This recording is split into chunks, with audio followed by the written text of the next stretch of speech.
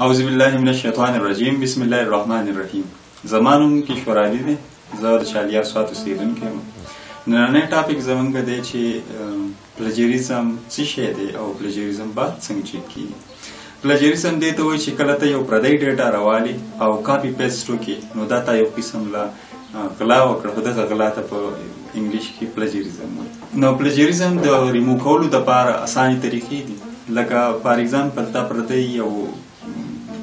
پاراګراف کاپی کو تا پردی پاراګراف کاپی کو او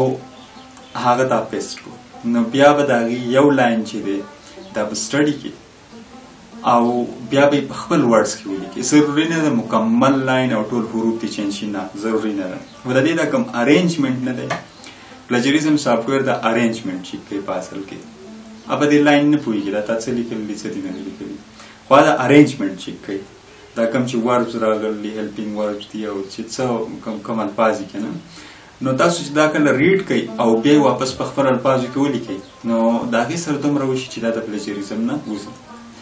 دا خو ولنۍ خبره دویمه خبره چې دا پاراګراف تا د کوم ځای نه کاپي کړل یا دا لاین تا د کوم ځای نه کاپي کړل هلته ریفرنس ولګوه نو د ریفرنس لګولو سره دا پلیجریزم بیا نور هم کم شي که فرض که ته دا خپل الفاظ ته هم چینج کړي او ریفرنس هم ولګې د دې دا مطلب شو چې دا بالکل د پلیجریزم نه ووته نو په پاکستان کې چې کوم پلیجریزم چیکینګ دپاره سافټویر استعمالیږي نو هغه دی ټرنکي که فرض که موږ د افغانستان یا د نورو ملکونو خبره وکړو نو زیاتتر چې دی په ایشیا کې تقریبا سیونټي پرسنټ په دنیا کې ټرنټن سافټویر چې دی هغه یوز کیږي او زمونږ ایچ ای سی اسلام آباد هم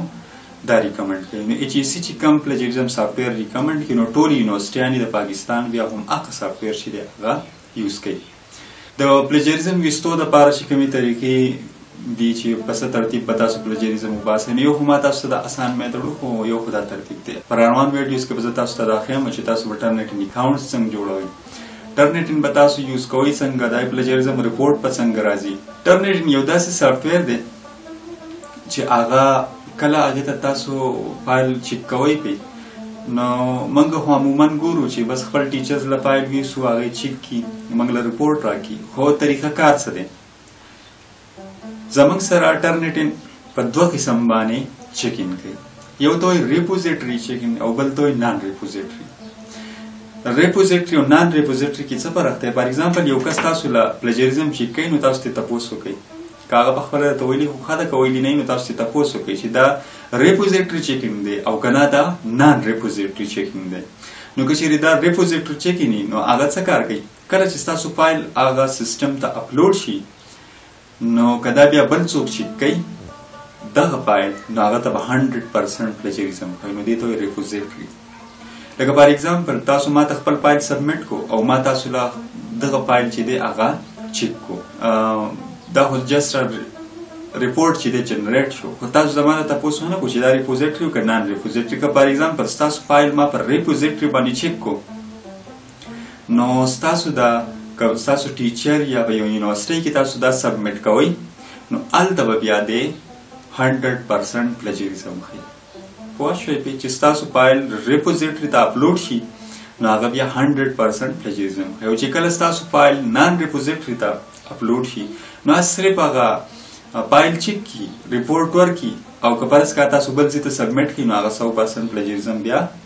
نښی نو په دی یو خبره باندی ځان پوه کړئ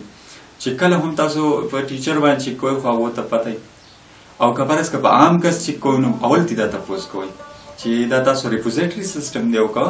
نان ریپوزیټری سیستم دی نو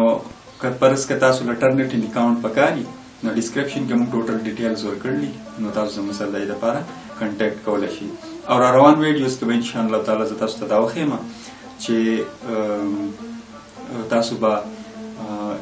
ټرنټ ان سټوډنټ اکاونټ څنګه جوړوي ټرنټ ان انسټرکټر اکاونټ به څومره جوړوي یا تاسو په ذهن کې کوم کوېسچن یې تاسو ما سره کنټیکټ کولی شئ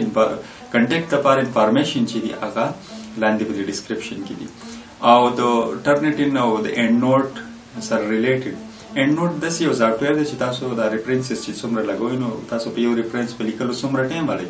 اینډ نوټ یې تاسو له ډایرکټ ډایرکټ لګوي نو د هغې د پلی لیسټ یو لینک چې دی هغه هم ما لاندې په ډسکرپشن کې ورکړی که چېرې تاسو هغه وګورئ نو تاسو ته به ډېر اساني شي چې تاسو پندره سولو ورځو کې کوم ریفرنسز لیکئ نو هغه په نیمه ګنټه کې لیکلی کېږي او ان شاء الله را روان ټایم کې تاسو ته دا مخیم چې کمپیرډ ریسرچ پیپر چې ما به تاسو ته څنګه ډاونلوډ کوم نو دا کتاب ویډیو تاسو ګورئ او چینل نه سبسکرایب کړئ سبسکرایب کړئ او د بیل آیکن پریس کړئ ځکه چې نوې ویډیوګانې کوم یې راځي نو تاسو ته به دا نوټیفیکیشن راځي او د خپل ملګرو سره یې هم شیر کړئ امید لرم تاسو به ټول ښه یئ د الله په امان